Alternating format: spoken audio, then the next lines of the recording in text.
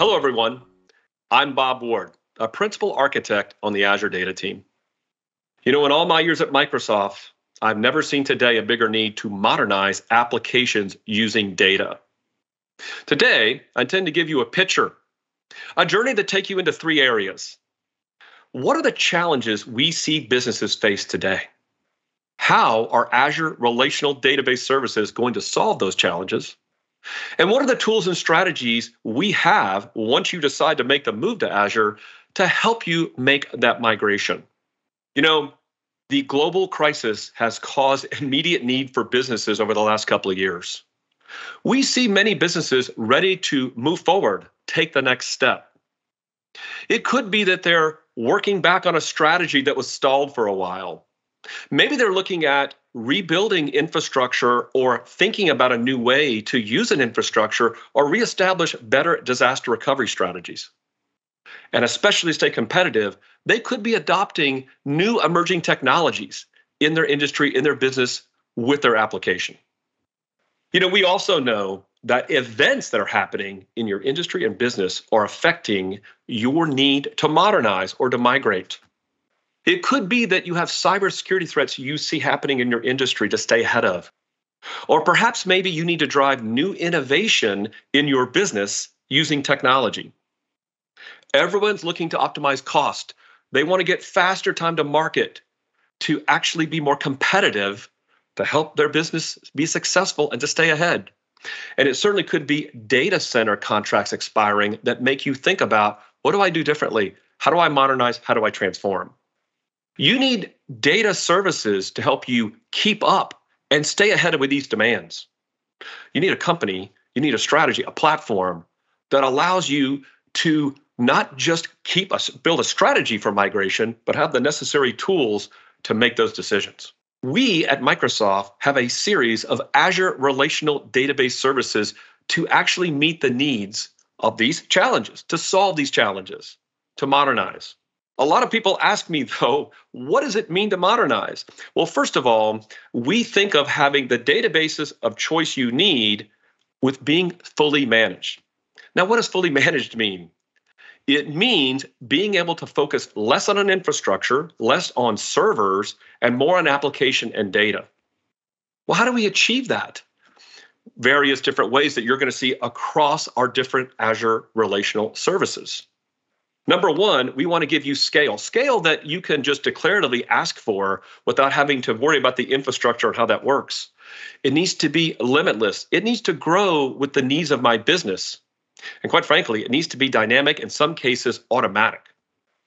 You need to know that all of my data services that I choose to use in the cloud could have built in high availability and disaster recovery in the product itself, something I don't have to worry about maintaining.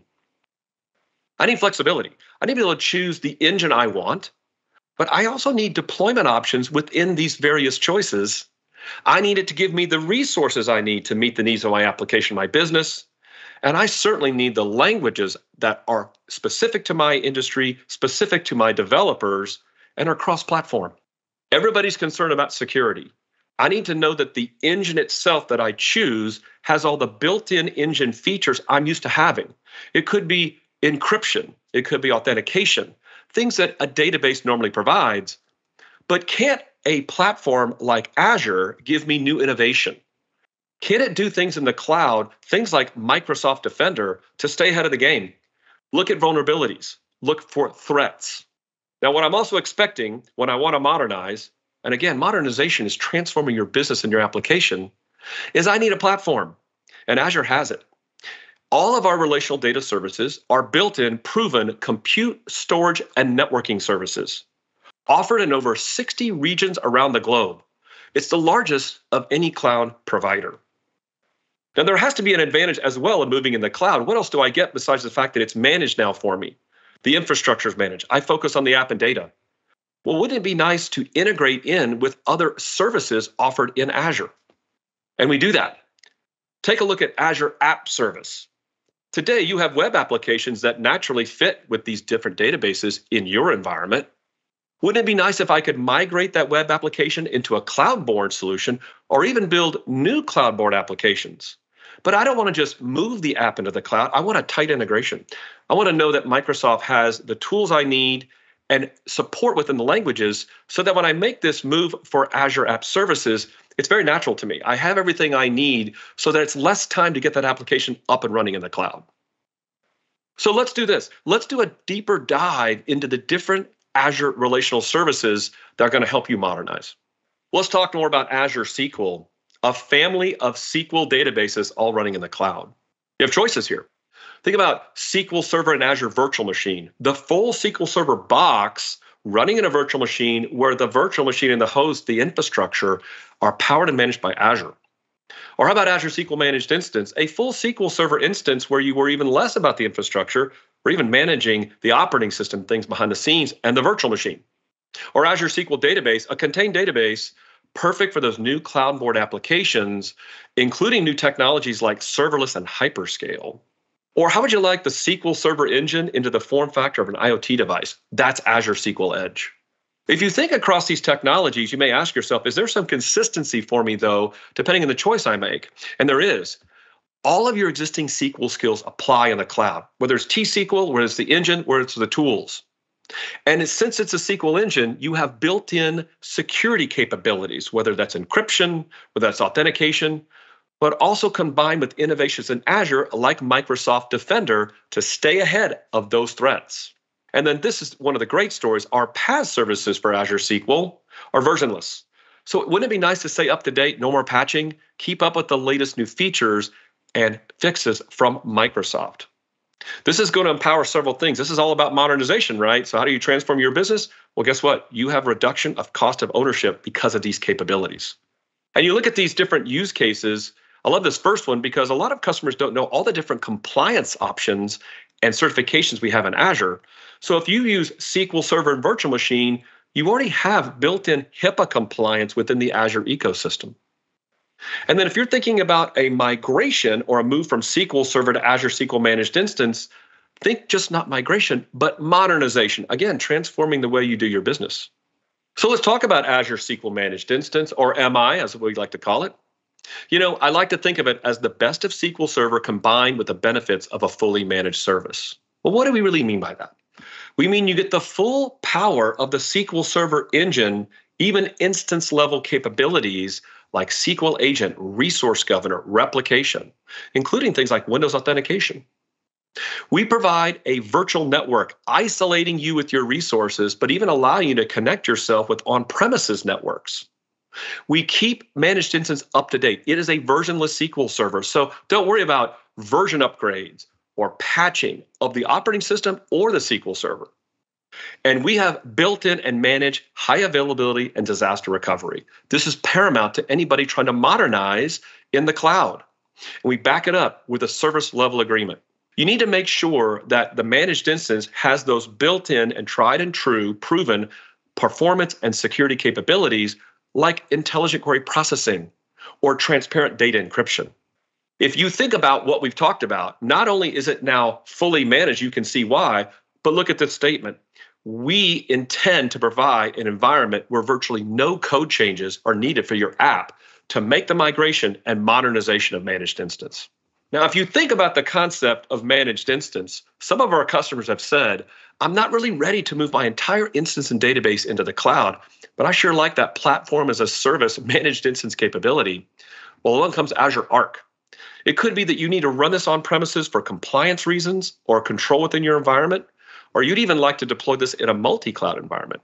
Azure Arc enabled SQL managed instance combines the power of Kubernetes so you get the infrastructure of your choice with the fully managed services of managed instance, like I talked about earlier. Well, what do I mean? I mean, like staying always current or up to date, like you can do in the cloud.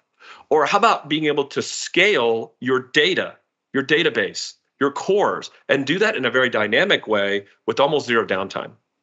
And then if I'm going to connect myself to Azure, can I get a unified view of what I'm doing with Arc with other Azure SQL assets? Of course you can. In fact, customers tell us even when they're making this choice, they might combine this with other Azure SQL assets. So I'd like to see things like metrics and logging through the Azure portal or through command line interfaces. I mean, look at Ferguson Industries. You know, they told us they love this option because they need the power of the infrastructure of their choice but they love the ability not to worry about upgrades anymore. Now, people have asked me, Bob, that's really nice technologies, but is anybody really seeing success with this? And you look at these customer examples, and they're great examples of customers that tell us they are. You know, Komatsu didn't just achieve better performance with managed instance, they reduced total cost of ownership. Perfect example of modernization. I love the quote from the Academy Nobody understands SQL better than Microsoft. And then you think about Mosaic Life Care, they actually need to move their application to the cloud. And so they felt that using a cloud solution like Azure SQL Managed Instance fit their needs and made it easier to make that a total solution to drive their business forward.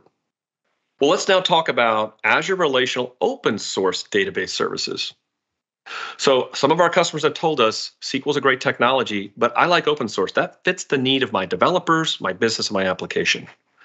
And if you think about what we're providing here, we're providing the most commonly used open source relational databases in the industry Postgres, MySQL, and MariaDB. So we're using the power of community databases with the innovations of Azure as a managed service. And you may be asking yourself, well, how can you do a managed service with open source databases? Well, consider this it's highly available. That theme again. How about built in high availability? So I worry less about infrastructure. I will focus more on app and data but I have flexibility. If you think about our Flex server options for Postgres and MySQL, those are great choices to take advantage of a lot of redundancies in the cloud with a lot more options in how you configure the servers that power those technologies.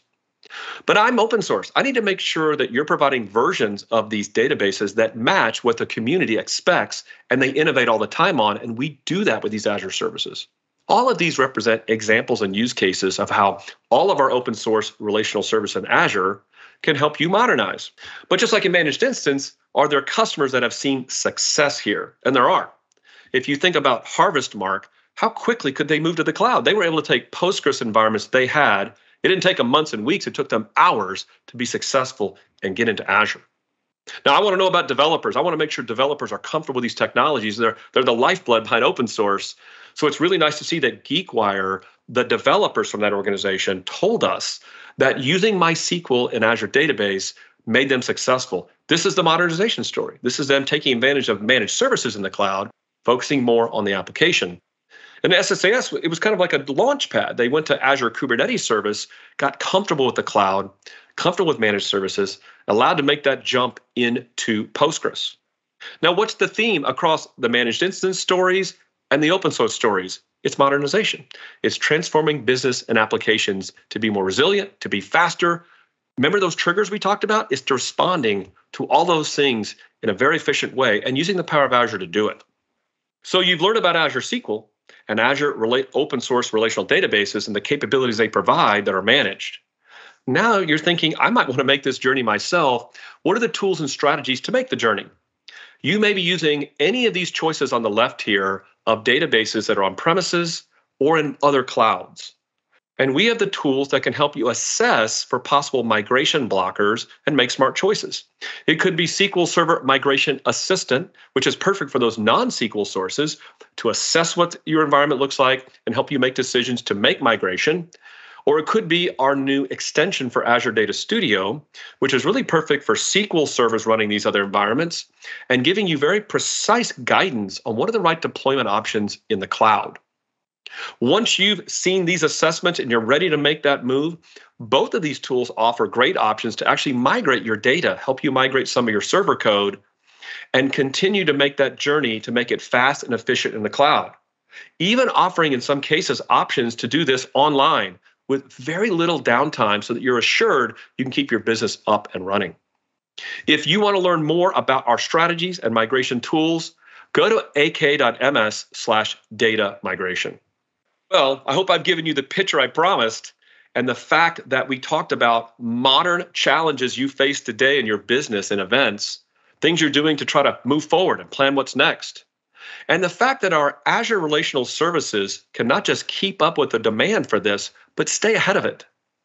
We talked about the fact that our Azure SQL and open source relational services are fully managed. And remember, manage equals modernization. Stay ahead. Worry less about the infrastructure. Focus on the app and the data, but still give you the choices you need, where you need it, and things like the security and built in availability you need. Azure SQL and Azure open source relational databases, we believe give you the choices you need to match your requirements, combining it with the power of the cloud. Find the right choice for yourself today at aka.ms slash Azure Databases. Thank you for your time today.